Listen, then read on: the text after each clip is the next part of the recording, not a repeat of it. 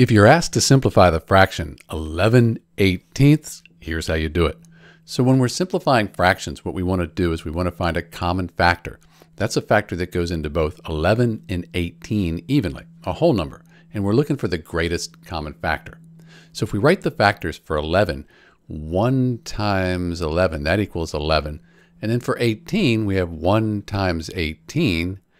What else?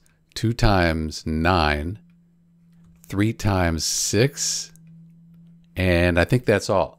So we need to find the greatest common factor here between 11 and 18. And the only thing they have in common is 1 right here. That means that 1 is the greatest common factor. You divide 11 by 1, you get 11. Divide 18 by 1, you get 18. So we're right back where we started. And what that means is that 11 18ths, this fraction right here, 11 18ths, it's already simplified. We can't reduce it any further. This is Dr. B. Thanks for watching.